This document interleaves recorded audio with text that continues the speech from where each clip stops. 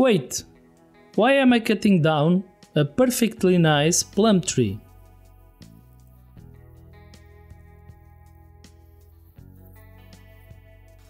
Because this variety doesn't produce a single fruit in my area.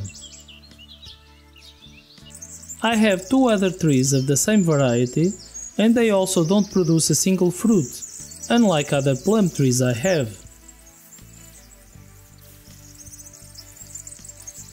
So, what's the problem with this plum variety that many others in my orchard don't have?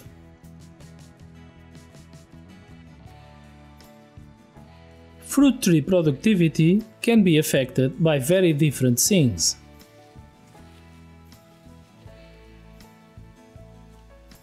Insufficient nutrients, not enough water, inadequate pruning might be some of the reasons.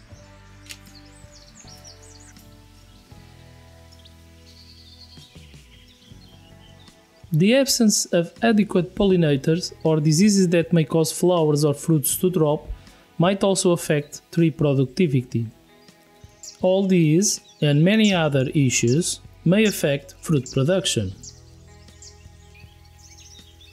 But if you live in a zone with mild winter temperatures like I do, a lack of fruit production might have another culprit not enough chill hours.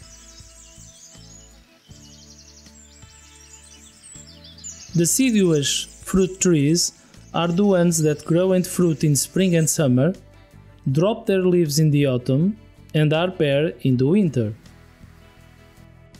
Fruit trees like apples, pears, plums, nectarines, and peaches all have a dormancy period. The number of chill hours needed to break that dormancy and start flowering and fruiting can be very different, and it's dependent on the variety. Chill hours are the minimum number of hours below 44 degrees Fahrenheit that are needed for fruit trees to bear fruit. Some varieties have a high chill requirement.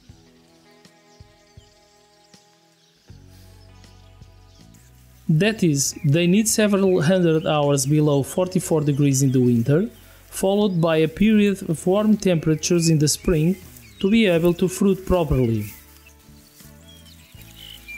Low chill varieties require much less hours of cold to break dormancy and will be productive in areas where winters are mild. These three Japanese plums, Black Diamond, Fortuna, and Methley, all have a low chill requirement and are showing a good amount of fruits in early May. On the other hand, this Mirabelle de Nancy has never produced a single fruit in my orchard also in early May, it shows a single flower and no fruits, similar to other years. So, ideally, you should always check the chill requirements of each variety you buy. Failure to do so might cause your fruit trees to flower too early for your area or flower too late. In either case, you will have a very low fruit production or no fruit production at all. Very low chill varieties tend to flower very early, February for this peach. This can result in the entire crop being lost if they are affected by frosts.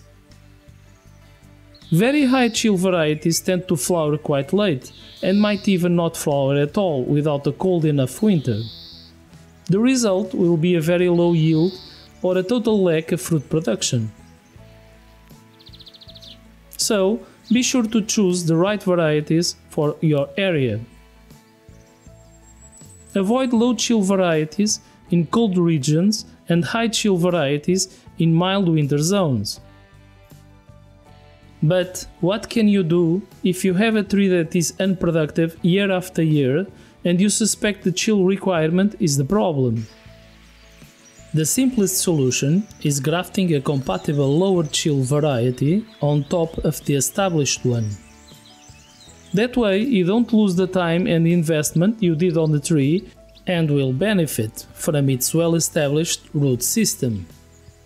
This European plum tree, named Reine Claude Vert, is a very high chill requirement variety. It's a very good quality plum, rated at 1000 chill hours. I had experience with high chill apple tree varieties that have a nice production in my mild winter area. So I took a chance and I planted a few trees anyway. But after 6 years and a consistent lack of fruit production, I have to accept that this variety will never produce in my area. So I decided to graft a compatible lower chill requirement European variety.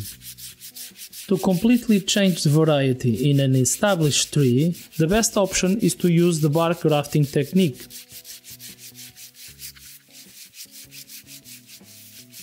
That requires that you cut the main trunk or the main branches and graft a couple of scions of the new variety inside the bark.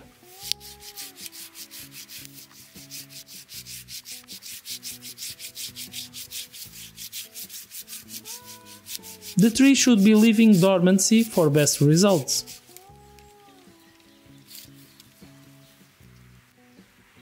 In early April, most of the Japanese plums have already some small fruits developing, while the European plums are still in dormancy.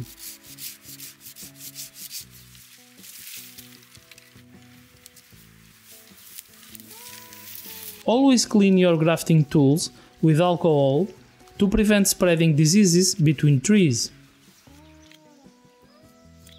Smooth the edges of the cut with a grafting knife.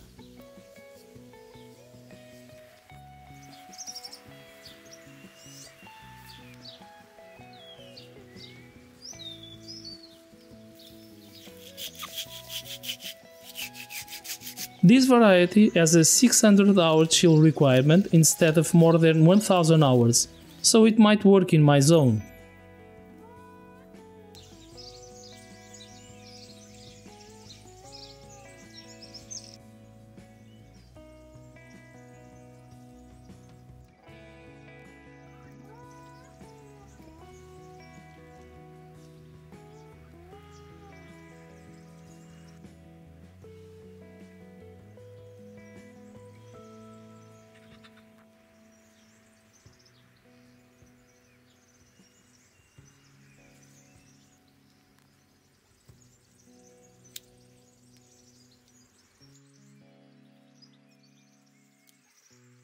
There are several ways of opening the bark and cutting the scions.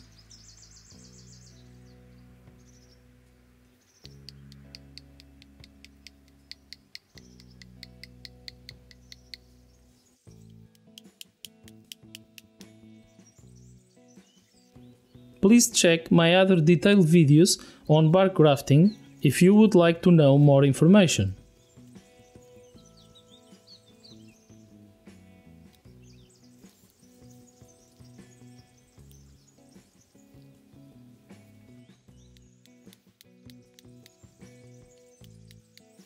Applying enough tension to the grafts is important to achieve a good union between scion and rootstock.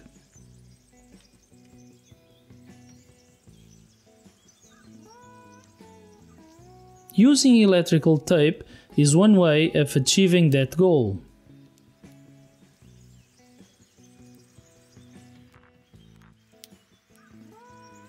Before applying a grafting seal, Protect any possible point of entry with a tape. Use a pruning sealant so water and air can't get inside the graft points.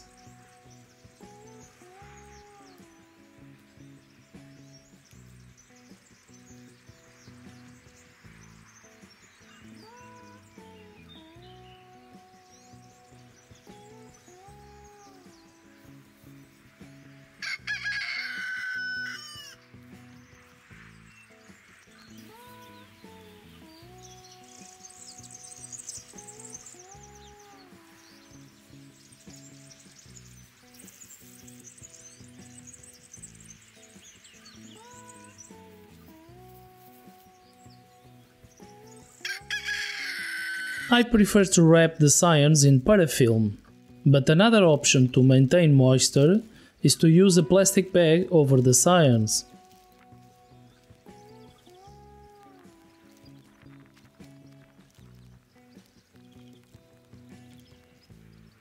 Don't forget to cover the grafts and the bag with aluminium foil for the first couple of weeks or the scions might overheat.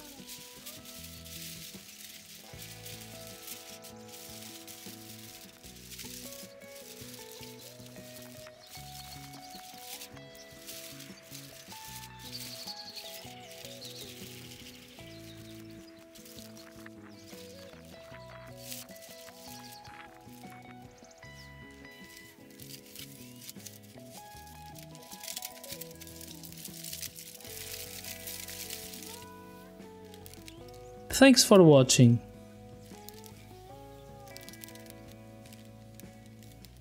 Like, subscribe, comment and share the video to support the channel. Click the bell to receive notifications of new videos.